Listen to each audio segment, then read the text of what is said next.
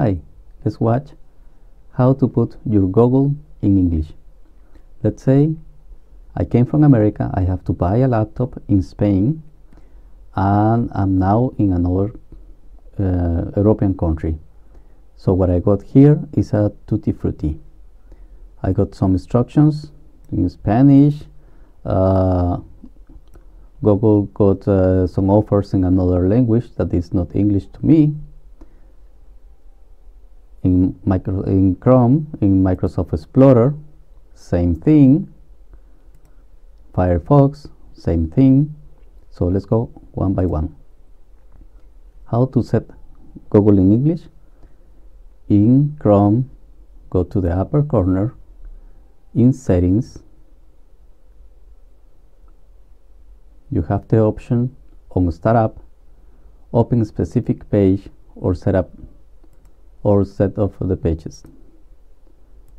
Here we will type in after google.com no country recognition NCR okay.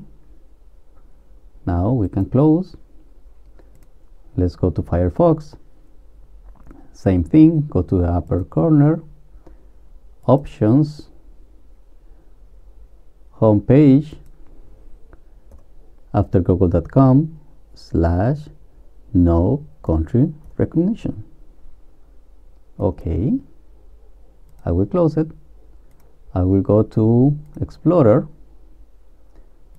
in tools internet options to create homepage tabs after google.com no country recognition. Apply okay I'm done. Let's go for Chrome.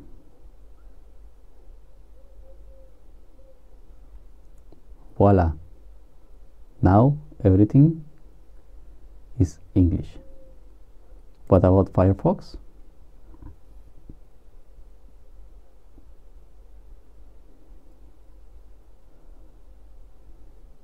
It's English too. What about Explorer?